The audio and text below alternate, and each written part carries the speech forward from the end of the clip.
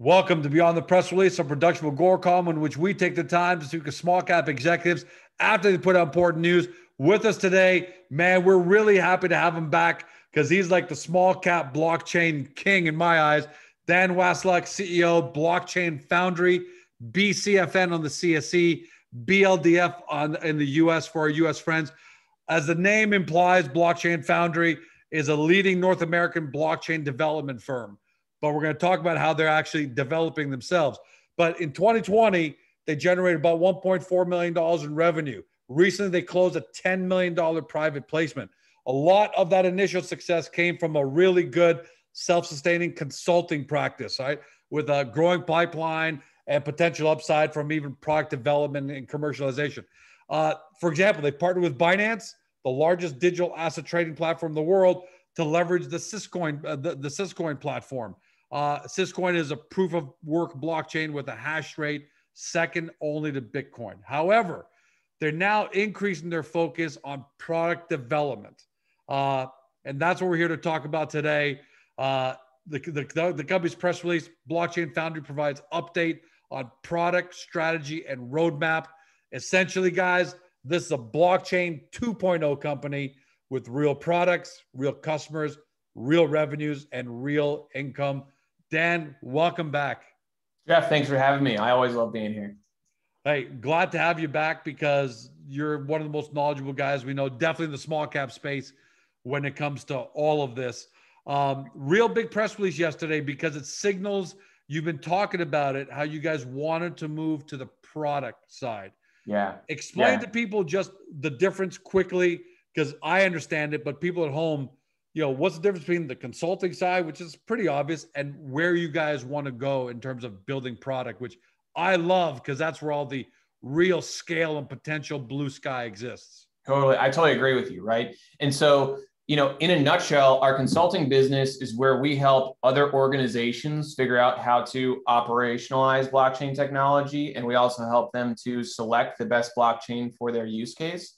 And that has been really valuable to us and also helped us to gain very um, uh, sort of uh, behind the scenes insights into what the real needs of organizations are from a use case perspective for blockchain technology. But when we're building stuff in our consulting division, we're really building stuff for the client and helping to support their use case. Whereas this year, with the money we've raised, we're now pivoting to building products that utilize blockchain technology to deliver value to the end user. And it's going to be a product that our company owns rather than it being a solution for some other company that they own for their specific use case. And that's big to us because it's something that, you know, it's a direction I've wanted to take the company ever since we started. But unfortunately, you know, we came out the door right into a bear market when we launched in you know, publicly in 2017 yeah. and so we really had to just focus on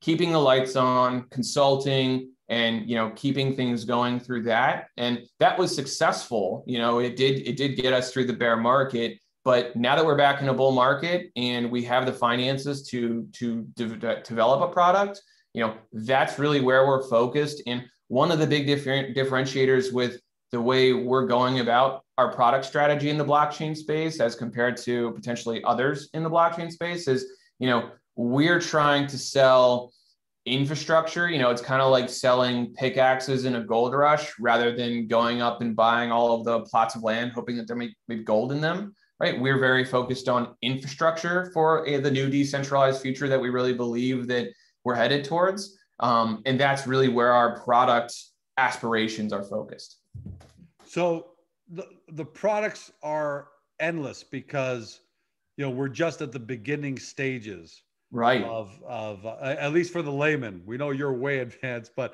for the world we're just really starting to find out about how blockchain is going to um, uh, impact our lives.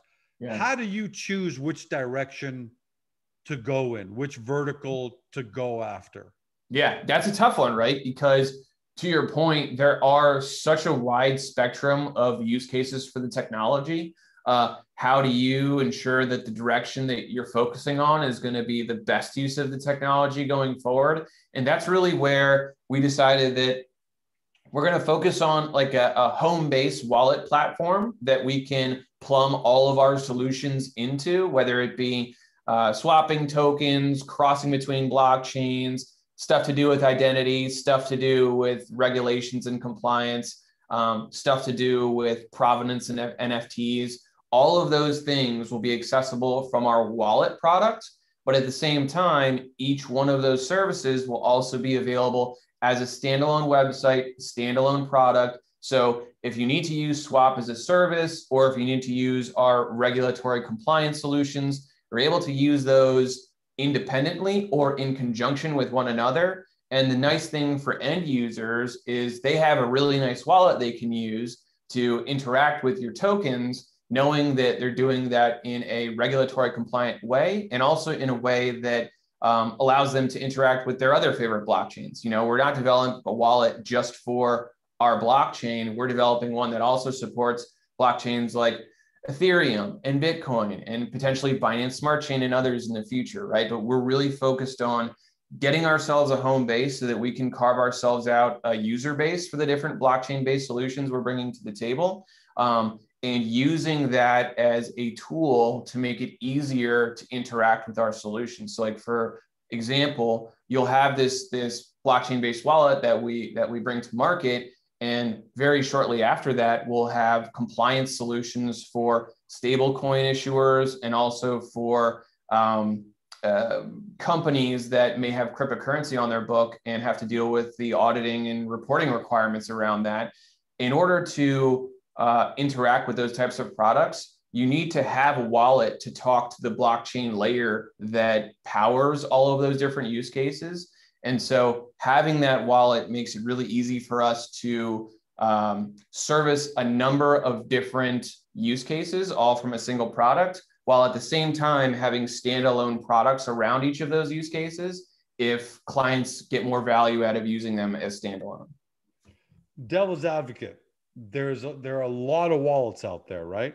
Mm-hmm how do you differentiate uh, aside uh, uh, not from a not from a, uh, a technical point of view because you point out the great advantage of your wallet but how do you differentiate how do, how do you how do you get to george?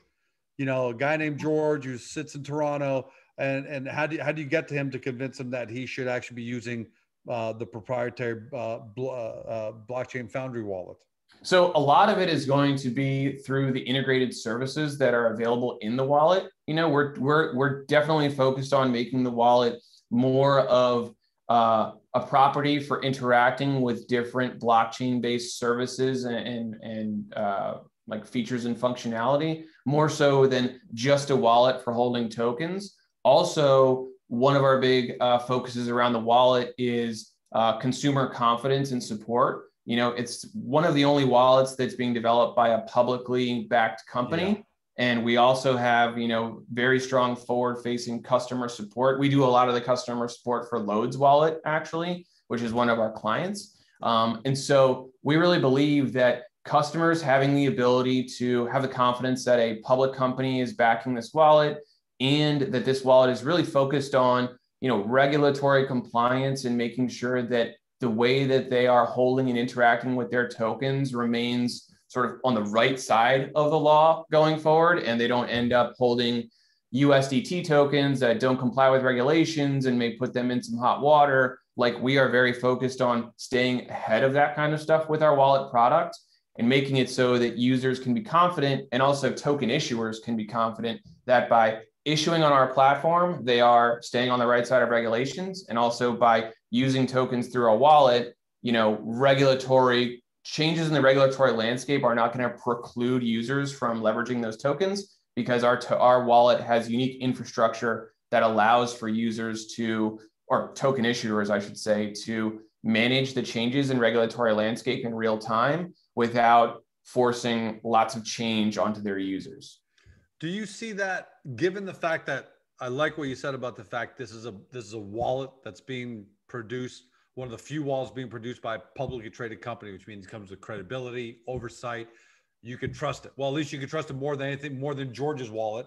Yeah, yeah. because you know because Blockchain Foundry is governed by uh, regulatory securities regulations and securities commission. So right. as a result of having that advantage, is partnerships a real possibility for you as well, where you can go to big, well-known uh, either finance, you know, finance companies, anyone in the finance world, hell, even the Agoracoms of the world, and say, "Hey guys, we want to get our wallet out there, and you can trust that ours is safe and compliant and has everything you need because we're a public company." Does or do you want to go it alone and not go the partnership route? No, no, that's definitely part of our strategy. And so, you know, we will be able to offer wallets as white label solutions to companies, but also we will be able to offer all these standalone services I'm talking about, you know, swapping between bridges, purchasing stable coins, either Canadian or US based, uh, swapping between tokens as a service. Those services will all be available both as a standalone website and as an API. And so while you'll be able to swap between you know, Bitcoin and Ethereum in Blockchain Foundry's wallet, other wallet services will also be able to integrate our swap service, just like there are other providers that that uh, you know we can we would compete with in that space that allow you to integrate the swap service directly into third-party wallets. And so, you know, how users will be able to leverage the swap services not only by using Blockchain Foundry standalone wallet or going to the website for swap as a service, right? They'll be able to use it through, you know, Coinomi can integrate it, Trust Wallet can integrate it. Any wallet that, you know, allows for API integrations can integrate it. They can add their own fee on top so that they get a cut by their users using it. And now they're making it easier for their users to trade between tokens without having to go out to an exchange and back, all from within a single wallet experience. So you guys are getting multiple kicks at the can here. Uh, that's that's the that's the idea, right? Is that you know we're going to expose these services to users through our own wallet property and through a standalone website, and then for developers of wallets or other financial services, they'll be available as APIs that they can also earn a rev share on, and so they have incentive to uh, integrate these APIs into their services versus other APIs where they may not be able to, you know, gain a rev share type of thing. I don't know if this is too early, but have you had a chance to get any feedback from partners, the industry influencers who are hearing about your product strategy and roadmap and, you know, giving it, you know, hey, Dan, I really love this. The industry's been waiting for something like this. Or is it too early because you just publicly announced that uh, the other day?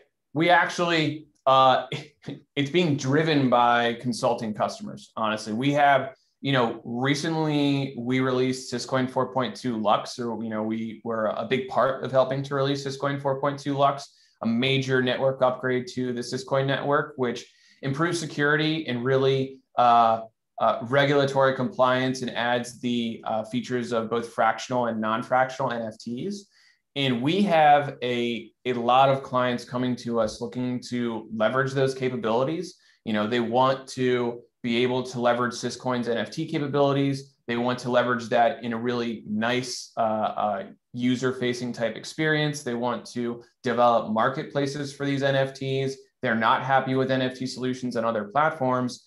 And we want to support all of that. But one of the biggest infrastructural components missing in order to complete that picture is a wallet that supports Syscoin NFTs to begin with, you know, and we know that there are certain third-party developers out there, you know, building wallets that may be able to hold Syscoin NFTs, and that's great. But as a company, we can't steer people to those wallets. Like we don't know, we don't know the quality of which they've been developed, right? We would hate the last thing we want to do is steer our customers to some client, have them lose funds in that wallet experience then say blockchain foundry told us to use this wallet yeah. right and yeah. so we're building our own wallet that allows for users to um, directly make use of the value that's present in syscoin 4.2 by uh, both creating and managing nfts but we'll know that that experience is you know very top notch and extremely secure and we also as a company will have the ability to make some money off of users who are creating digital NFTs in the wallet itself, right? And so now, like we have clients right now that we are developing solutions for on Ethereum only because that wallet is not available yet. And they've even said as soon as that wallet is available, we want to migrate over to Syscoin. You know, and so getting that in place as soon as possible is really key for us because we know NFTs are hot. We know Syscoin's NFT technology is top notch, but that infrastructure for connecting users with the technology just isn't there yet. And so we want to make sure that we help put it in place and we help put the best possible version of it in place. And so, in respect of that, we've also been beefing up our team a bit with additional designers and UX professionals so that as we come out the door with this wallet, it really is the best possible wallet for you know mainstream mom and pop type users to interact with these types of technologies because that is definitely the the the market that we're targeting. You know, we don't. That's, that's the holy grail, right? Making yeah, I mean, for it, George and Mary and John to be able to to to use because right now I have to admit, like, look, I know a fair bit about this, and even I'm struggling to keep up with a, a lot of what's going on out there. Let alone just the layperson who keeps hearing about it and says it all sounds exciting and promising, but I don't even know where to start. So I'm just yeah. going to continue doing things the way I always did. Right. I mean, you know, we like to think of NFTs more as digital collectibles. You know, like you boil it down to something simple like that, and it makes it much more understandable for consumers. And, you know, we also think that there's a lot of potential in that digital collectible space. You know, it may not be in the selling $60 million digital collectibles every day type of thing, but, you know, there are very well established markets for normal physical collectibles today that can be easily uh, uh, that can easily be like you know fraudulent you know fraudulent versions of those collectibles can easily be produced today. And so digital versions of those that are immune to fraud you know there's a natural market for those. But enabling that market and are each of those going to be 60 million dollar sales? No i don't think so. But i definitely think there is a volume based market for more um, you know consumer friendly priced nfts and nfts that are that are more you know collectibles that are more uh, relatable for normal users. And that's really where we're focusing on right? We're not we're not focusing on selling one $60 million nft we want to sell 60 million $20 NFTs. Yeah. And, and look, that's the, that's the state of the media. They're always going to talk about the big flashy and, and rightfully so. We all like to hear those kind of things. Yeah. True. But the, that's not where the business is at the end of the day. Like right. one collector car may sell for $60 million, but really if you can, if you have a couple, if you have a few car dealerships and selling cars day in, day out for the rest of your life, that's where the real money is. And that that's where you guys want to be. So yeah, I can't wait. I think we should sit down, almost have a separate interview mm-hmm. just on the NFT world. And yeah, what- I agree because it's a big one, right? Like there's lots of people talking about it. There's a lot of hype around it, and I do think that there's a lot of long-term potential around it too. But separating the hype from the long-term potential is is difficult at times. Um, and I'm certainly happy to share our opinion on where we think the long. Yeah, yeah, we got to do that soon. We definitely yeah. got. But thanks for at least telling us that. Uh, let's move on to some stuff that's going on because I, I got to pick your brain uh, mm-hmm. because you've got just fantastic knowledge. So China, uh, yeah, the crypto quake they caused by banning financial and payment institutions from providing cryptocurrency services. What do you make of the news? Uh, mm-hmm. and what opportunities uh, the Chinese say is that that Chinese proverbs from from chaos comes opportunity. So, what, if any further opportunities might arise as a result of what China's done? So, you know, I've I've personally been in the space since the 2012, 2013 sort of time frame. Um, and in the years that I've been in the space, China's done this more than once, you know.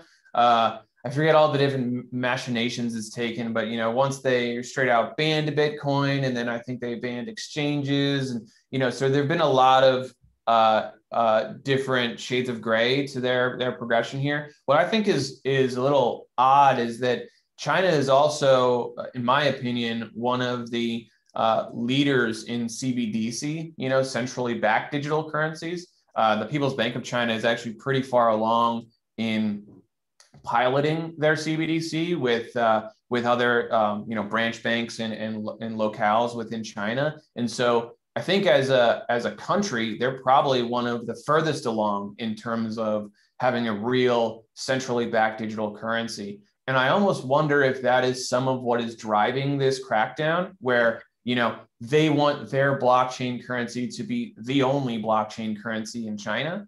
And now that it's so, I'm you know, they're not extremely transparent about it, but they do publish, you know, updates uh, uh, around how that whole uh, initiative is going from time to time. And it does seem to me that it's it's um, you know really coming into maturity now with the the various pilots they have going on. And I do wonder if this move to you know ban cryptocurrencies from them is is somewhat being driven by their desire to have their CBDC be the one blockchain based. I would think that's obvious, right? So yeah. that begs the question does Canada watch what China did and the US watch and other countries say, hey, you know what, we should do the same thing because we know Canada's working on a centrally backed digital currency. Mm-hmm. Is there a chance that the entire digital cr- cryptocurrency market gets squashed by governments who just start banning them?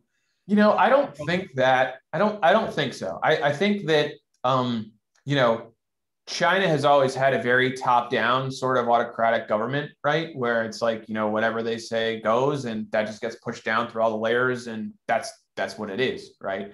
Um, in in other countries, there's a bit more uh, there's a bit more democracy to be to be frank, right? And so I don't know that uh, a blanket dictation like you know everybody's got to use the the Canadian CBDC and and Canada is going to ban all their cryptocurrencies would would fly. You know, I feel like there would be a lot of uh, pushback from from just normal citizens on that type of thing. Pushback that you probably aren't going to see in places like China because um, you know the pushback on the governments look down on there. You don't want to do that. Yeah. Um, but in in you know more Western countries, I think that there would be a lot of pushback and a lot of um, questioning how that is infringing on people's rights to a certain degree.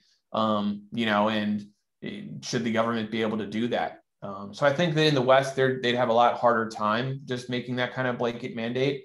Um, but you never know. And I, and I don't think that was really on the realm of pot, but Oh, I, it does beg the question where you have to think about it, at least saying, hey, if it may, maybe that's because the Canadian government, all these governments might be terrified of losing control of well, well, and that's where a different world of currencies that have nothing to do with them, right? That, that's well, but that's where you know we think that regulation is the answer rather than straight up you know outlawing or whatever you want to call it, because because then governments can still maintain the same level of control, like because there are other currencies, right? Gold and silver are used all the time, right? And, and they have value and governments don't control them. But there's a set of regulatory guidelines that allow for financial institutions and other businesses to know what they need to do in order to transact with that type of value, right? And I think that the same sort of standards needs to be developed for blockchain slash cryptocurrency types of tokens.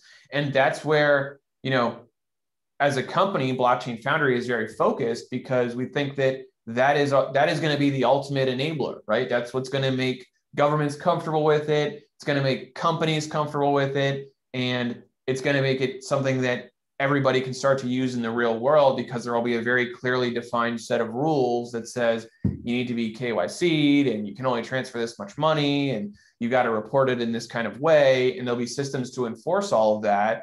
And then it can operate just like gold and silver and all the other types of value transfer we have today. Um, straight up saying that, oh, well, we're going to ban it because we're going to reinvent our own version of it. Like, I think that that you know, I don't, I, I, I don't think that that would be well received by the public, and I think that there are better compromises that still allow for the the freedom and flexibility that cryptocurrency has always been um, targeted at providing, uh, while still uh, providing the compliance and regulatory controls that make regulators and businesses that want to work with this stuff uh, comfortable. And quickly, I'm assuming you actually would welcome that because something we oh, talked yeah. About, something we talked about off air before the interview is that uh, you can have you can have a legitimate uh, George coin, uh, but there's so many imitations out there mm-hmm. uh, that people are actually losing a lot of money because they think they're buying George coin, but they're buying another George coin somewhere else, and they right. and they so you'd actually welcome that next stage. That would probably be a well, boost to the industry even in our in the roadmap we published and you know the wallet is just a first stepping stone to this but part of what we published in the roadmap was you know what we've been tentatively calling uh, project peregrine. It's it's a it's a regulatory compliance management tool for token issuers you know and what it allows them to do is it allows them to define any number of rule sets, blacklists, whitelists, require KYC, custom scripted rules, you name it, that are executed before the transaction hits the blockchain. And if those rules aren't met, then the transaction never even gets to the blockchain. And they're implemented in such a way that they're enforced by the blockchain's consensus, but they're stored off chain. So unlike Ethereum, you know, if you wanted to add uh, 50 different rules to USDC to make it more regulatory compliant, you would be adding incrementally more cost along the way because you're increasing the size of logic, you know, you're increasing the size of uh, the computations that need to be run with every transaction. Yeah. Right. What we've done is implemented a solution that specifically removes that additional computation cost from the blockchain, takes it off chain so that you can have as many rules as you want without creating any additional cost. And those rules can be much more dynamic in nature. And so, you know, what we're kind of uh, forecasting for is regulators coming down the pike with regulations that impact both stablecoins and NFTs that push them to um, requiring solutions that right now we already have in place. And so, you know, come on down to Syscoin and, and Blockchain Foundries products that help you to deploy these things in a regulatory compliant way. And then these issuers, USDC, Tether, NFT creators, all of that can be providing users with this value without wondering if, you know, FINRA or fin, FinTech is going to come knocking on their door the next day you know? And so we're building this stuff ahead of the regulations really coming down and clamping down but we also are very you know we have our ear towards those working groups that are helping to form these regulations and we hear what's coming and that's what's driving some of what we're building. And this and and this will be part of another bigger conversation because uh-huh. man there's so much great stuff to talk about i'm, I'm just going to throw it and maybe you can give me a 10 second answer but the problem with regulation is who under who in government understands this industry well enough to be able to put even basic regulations that don't hurt the industry at the end right. of it. Like even look what you talked about with your solution, how you're taking the regulation part off chain so you don't add on all these. Uh, look, I've been in, I've seen government, I've worked with government, I've you know, and they're they're they're a bunch of bureaucrats at the end of the day. They're not they're not some magic wizards. So Mm-hmm. Man, that's going to be a tough part there, but we'll save that a day. I mean, yeah. Seconds. Well, I also think it's. I think, that, do you think? Do you think it can be done, or do you think it has to come from inside the industry to say we'll come up with the rules to to help everybody? I think it needs to be a a mix of the two. To be honest with you, I think it needs to be you know like with what we've developed, we are going to go reach out to regulators and show them what we've built and show them how it can uh, mitigate their concerns and then use their feedback to improve our product to address the gaps that they're talking about that we missed or have them endorse it saying we didn't even know this solution existed but it covers the bases so hey token issuers use this product bcfn, bcfn has put out and we'll all be good. You know like that is definitely what we want to get to right? And so we see it as something that is working with regulators, they're not going to know what the answers are just out of the box because, like you said, they, they don't necessarily, I mean, they are getting more and more um, uh, educated about this stuff, right? So I don't want to make it sound like educators have no, cl- like regulators have no idea at all. They are getting more and more familiar with the actual technology. But when it comes to the solutions that are available for some of the compliance challenges that they're bringing to the table. That's where organizations like ours really need to work with them to make them aware of the solutions that we've developed and have them validate that is exactly what we need and then steer token issuers that way. And so this year is a lot, that's a lot of what we're focusing on, right? Is first getting the wallet that allows for users to hold regulatory compliant tokens and um, you know, understand the variety of sorts of uh, uh, compliance errors that can happen with those tokens, and then provide issuers with the platform that allows them to issue those tokens and manage the different types of transactions and good and bad actors and uh, compliance rules that regulators in different jurisdictions are going to impose on them. And that's also a big part of the vision, you know, is that you're going to have different compliance rules in different jurisdictions, and you're going to need a tool to manage all those different jurisdictions. And that's very much where we're focused. You know, the wallet Man, is that's unbelievable. If you guys if you guys get there, and the wallet's just the first stepping stone, right? Like that's just that's just how we start walking towards that you know that direction. And there's revenue to be had along the way. Um, but definitely the larger vision is one more around regulatory compliance, making it so this stuff is long term feasible, and at the same time, making it so it's easy for people to use and people can trust it and feel secure in using it through our product. All right, last question. Have a little bit of fun. This mm-hmm. is an easy one. Uh, uh, Bitcoin has gone through incredible, ridiculous volatility uh, in the last week. Um, where do you think where where do you think Bitcoin ends up? Does it does it continue to fall? And does that matter because you're more focused on where Bitcoin is going to be 10 years from now? So yeah, yeah. How, so what would you say to Bitcoin Bitcoin investors? We know there are a lot of guys just out there, and guys and girls are out there just speculating. But what's your call on what's happening? Does it even matter in the long run? Well, so nothing I say is financial advice at all, and all yes. this complete speculation. Um, I, I think first of all, I think it, it doesn't matter what happens in the near term because I do think that long term, it you know, there's there's more upside to come, and others out there are saying the same thing. I mean, you've got Tim Draper standing by his 250k price prediction. Cathie Wood just today said she thinks it's going to hit five hundred thousand dollars. You know, what time so, frame? Ten years? Five years?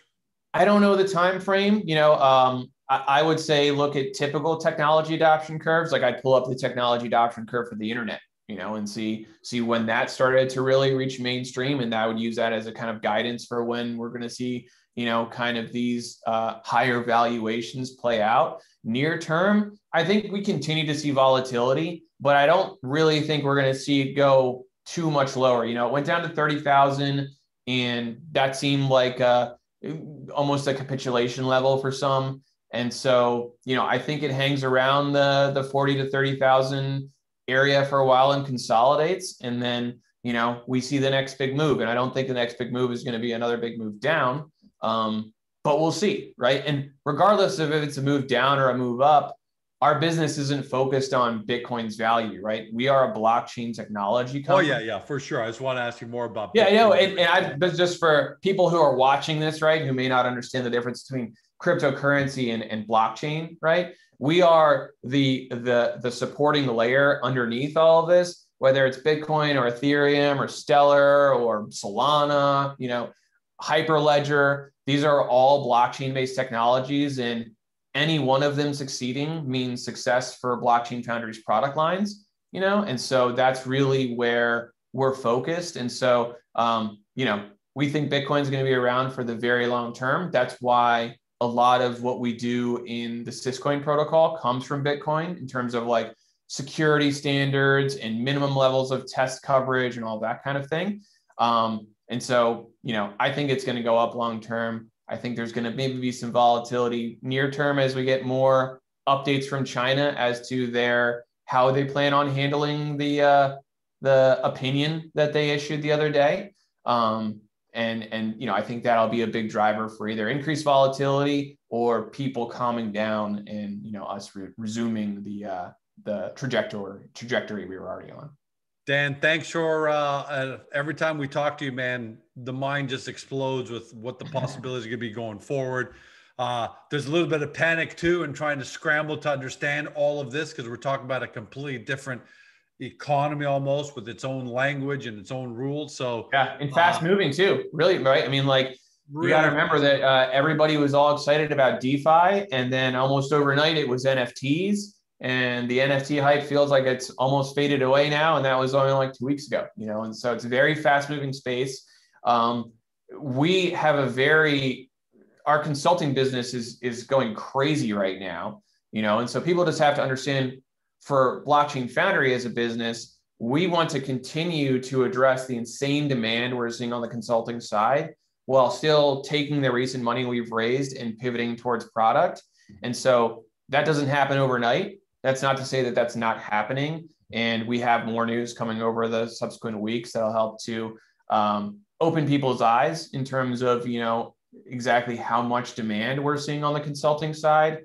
And, and you know, hopefully that'll people will be able to connect the dots in terms of wow, if there's that much consulting business, it makes sense that it's taking a you know the consultant side is going to explode. There's no doubt about it. There's just no yeah. doubt about it. Everything everything's going to explode. So uh, can't wait to have you back, Dan. And we should start having a lot more conversations just in uh, just in general, just to keep educating people. Yeah, well, and with with the product roadmap moving forward, you know, I'd love to be you know showing sneak peeks of what we have coming and stuff like that as as we move forward too.